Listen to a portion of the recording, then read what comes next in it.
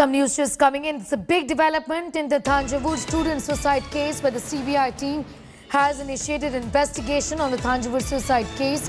CBI officials and crime scene team have reached the school where the student was studying and consumed poison that led to her death. Pramod Madhav is getting us more details on this story. It's an important development given the manner in which the investigations are being carried out was being questioned by the family members as well. The CBI now formally taken over this matter.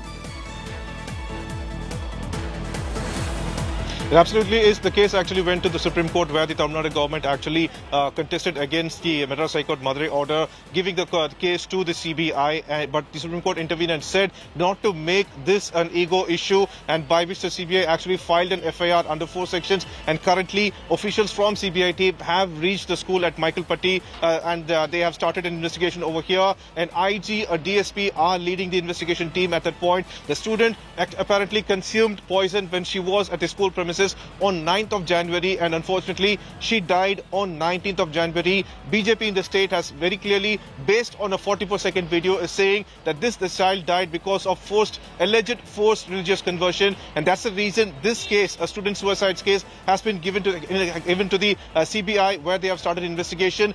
Crime scene team is also there. They are actually going through various properties in that part and another team is actually recording, video recording the surrounding as well. Pramod, thank you for getting us up to speed with that. We'll of course keep coming back to you for more on that story. An important development with the CBI team formally taking over the Thanjavur Lavanya suicide case.